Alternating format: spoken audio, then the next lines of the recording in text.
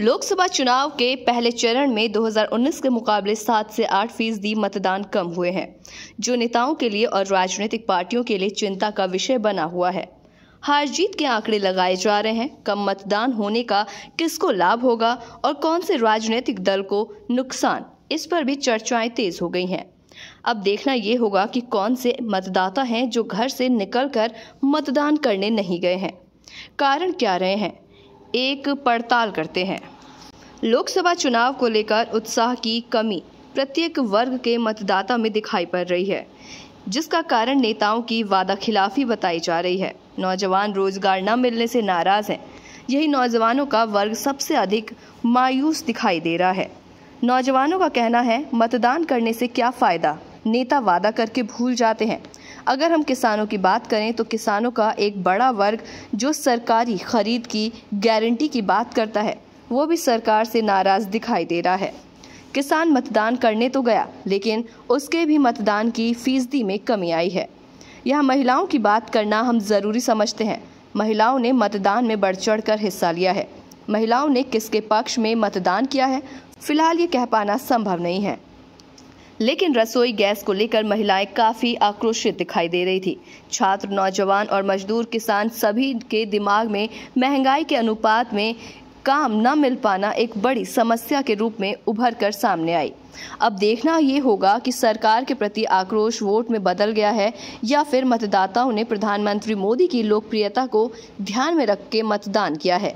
ये चुनाव नेताओं की लोकप्रियता का भी आंकलन करेगा। मतदान मुद्दों पर हुआ है या फिर मतदाताओं ने हवा में मतदान किया है? ये मतगणना के बाद ही पता चल सकेगा।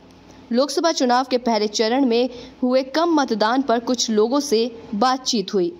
उस पर आधारित एक रिपोर्ट देखिए। क्या नाम है आपका? इंजीनियर अनुज यादव। अनुज यादव जी अभी पहले चरण के लिए मतदान हो चुका है। जी। इसमें सात से आठ परसेंट वोट कम पड़े हैं। जी। नौजवानों में उत्साह कम देखा गया। इसका कारण बताएँ क्या हो सकता है? इसका जो मेन कारण है वो है युवाओं में बेरोजगारी। जी। ये मेन कारण रहा है। क्या है कि पढ़े लिखे लोग ज़्यादातर जो भी हैं वो सब रोज़गार के लिए अग्रसर हो रहे हैं। तो सभी चिंतित हैं कि हमें रोज़गार मिले। तो रोज़गार कुछ है नहीं।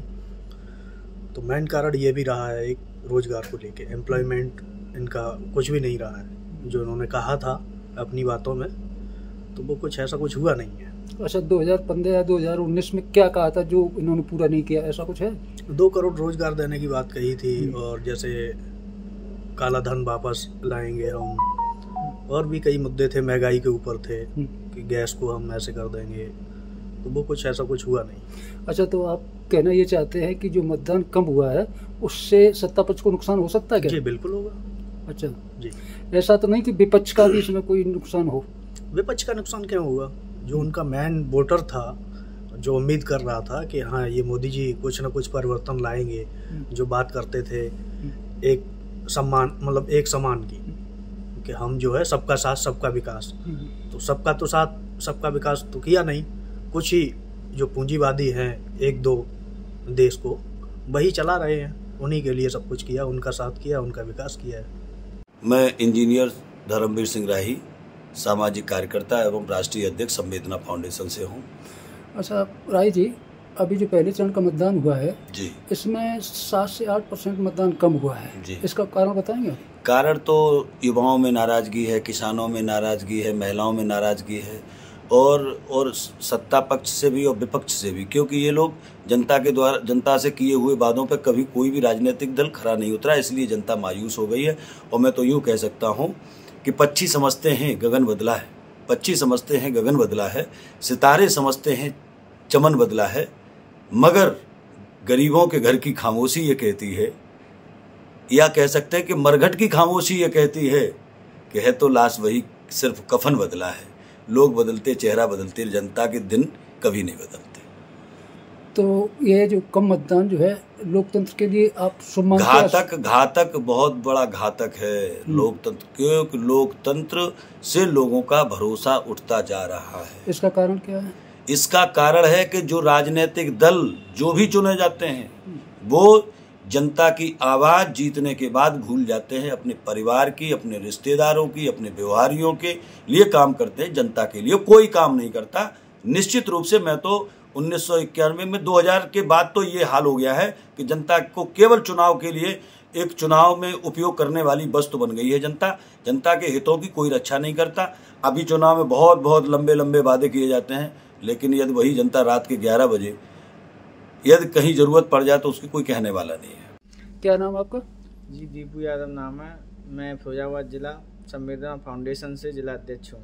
अच्छा ये बताएँ जो अभी पहले चरण का मतदान हुआ है इसमें सात से आठ परसेंट मतदान कम हुआ है और नौजवानों ने जो है बढ़ चढ़ के हिस्सा नहीं लिया। क्या कारण रहा होगा? जी नौजवानों ने बढ़ चढ़ के इस वजह से हिस्सा नहीं लिया है। नौजवान सरकार से थोड़ा परेशान है सरकार रोज़गार नहीं दे रही है बेरोजगारी ज़्यादा बढ़ती जा रही है इसलिए नौजवान हताश हैं। इस वजह से नौजवानों ने बढ़ चढ़ के हिस्सा नहीं लिया है। अच्छा ये बताएँगे कि जो कम मतदान हुआ है इसका नुकसान किसे होगा और फ़ायदा किसे होगा? देखो नुकसान फ़ायदा तो दोनों पार्टियों को ही होता है। पक्ष विपक्ष दोनों को होता है। इस कम मतदान का जो है नुकसान सत्ता पक्ष को होगा या विपक्ष को? दोनों को होगा। दोनों को होगा।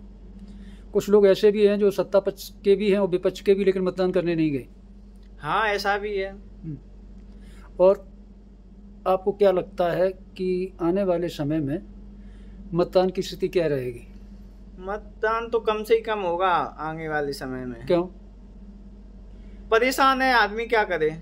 मतदान से कुछ हो रहा नहीं है। आदमी अपनी पार्टी को सपोर्ट करता है इसलिए करता है ताकि उसका कोई फ़ायदा हो। सरकार को हम लोग क्यों वोट देते हैं? इसलिए कि हमें रोज़गार मिले पर रोज़गार मिल ही नहीं रहा बेरोजगारी बढ़ रही है।